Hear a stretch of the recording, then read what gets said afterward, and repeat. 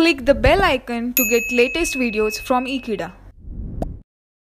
Hello friends, today we are going to see a special casting process which is centrifugal casting and the different types of centrifugal casting.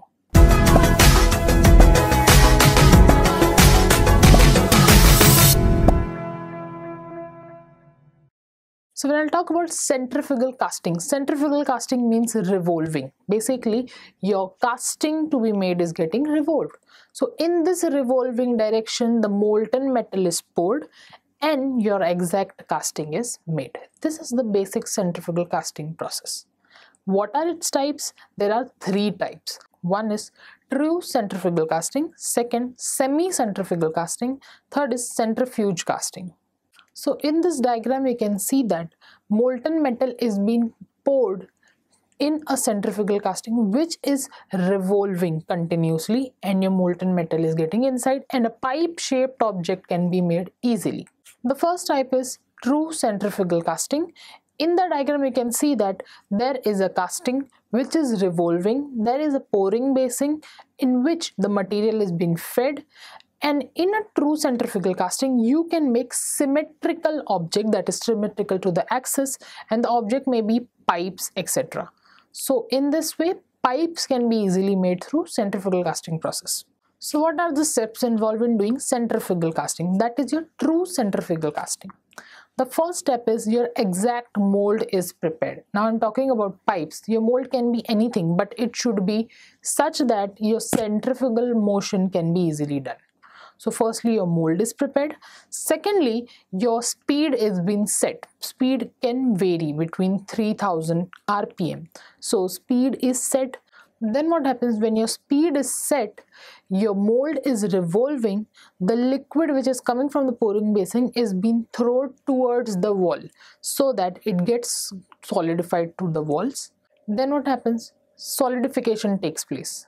It is revolving throwing the liquid towards the wall as well as solidification is taking place and that finally the desired thickness of your shell is obtained so the main feature of true centrifugal casting is when it rotates in a horizontal direction, true centrifugal casting is obtained. But when it is rotating on a vertical direction, a parabolic curve is obtained. And the major feature is you do not need any kind of riser, spruce or any other kind of gating system in your centrifugal casting. In semi-centrifugal casting, what you need, you require a core to produce a hollow casting. Rest all the things are same as true centrifugal casting. You can see there is a flywheel kind of object or you can say that vertical centrifuging is being done.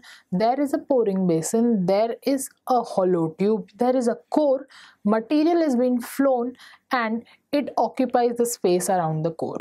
So when i'll go step by step firstly your mold is prepared your exact mold how the shape is to be casted. Then your mold cavity is prepared along the vertical axis. Then what happens? In your cavity you place your core so that the material comes and it occupies the space around the core and your centrifugal force is being applied like it is moving the object is moving in the vertical direction and centrifugal action takes place. This is a centrifuging process in which the axis of your centrifugal force coincide with your mold cavity axis. So in this process, the basic difference is you have different mold cavities other than your rotating cavity so that the material come and it can fill different small gates. This is the difference between centrifuging and semi-centrifugal casting. So when I'll talk about the steps, the steps are same. The mold has the molten metal which has been poured by your pouring basin and your spruce. Liquid metal comes it occupies the different gas and your centrifugal action takes place. Centrifugal action can only takes place in your vertical direction. Unlike in true centrifuging it cannot be taken place in horizontal direction so in this diagram, it is clearly seen that how exactly centrifuging takes place. There is a single spruce from which the material comes. There are different small gates through which your material goes to your exact casting. Thank you for watching this video. Stay tuned with Ekeeda and do subscribe our channel Ekeeda.